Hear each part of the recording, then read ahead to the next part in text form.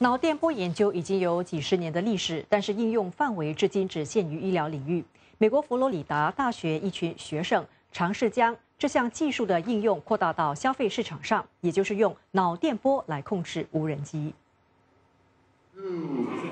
One, go. 没有操纵杆或手持控制器，同学们用意念驾驶无人机从地板起飞，并飞落到预定轨道。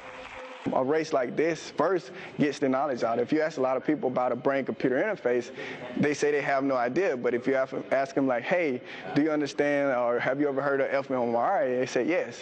这场全球首个脑电波操控无人机比赛，让脑机接口技术走入公众的视线。这类技术研究已经进行了几十年，主要用来帮助瘫痪病人。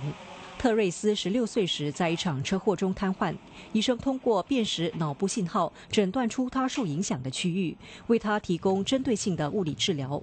如今，他的手和脚已经逐渐恢复了一些功能。Sometimes it's still hard to accept that you know this is the way it's going to be, because I still feel hope that maybe a chance he can run again, walk again.